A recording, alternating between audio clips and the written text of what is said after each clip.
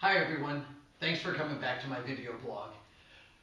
The question I get asked a lot again now is, what is fueling the market in reference to the buyers?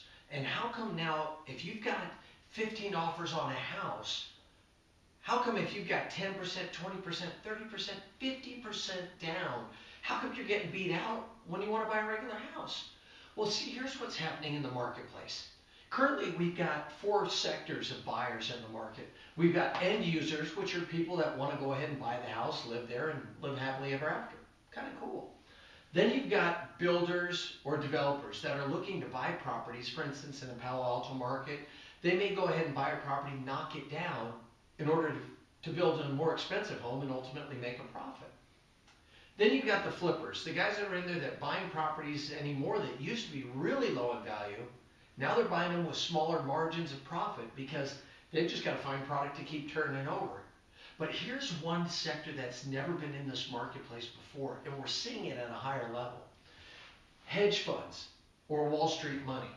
They're coming in now and buying at a high, high rate. There's companies like Blackstone, uh, Colony Capital. There's some big, big hedge funds that are buying properties. And as a result, they're not putting them back on the market.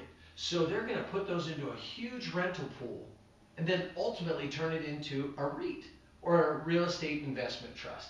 So what's happened is these guys are drying up inventory that normally would have been out there for end users or even builders or flippers. So as a result, pricing is really getting driven up. It's supply and demand. If you dry up a lot of the supply and the demand remains constant, well, obviously prices start moving.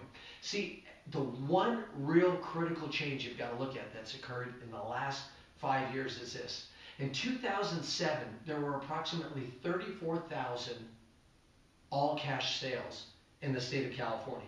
34 or 30 plus thousand in California. Last year, there were over 120,000 all cash sales. So what we're seeing is this people are actually using a lot more cash, even if they go get financing after. But initially, they're throwing in all the chips with all cash. So right now, when you're structuring your offer, make sure you've got somebody that understands the game, how to properly make an offer, because it's not always money. There's other terms that can be added to make it favorable for you to get the home. So if you have questions or want to know how to best structure a deal, whether it's on the market, off the market, or you're just buying it from a family member, let me know. I'd be happy to help. Thanks again.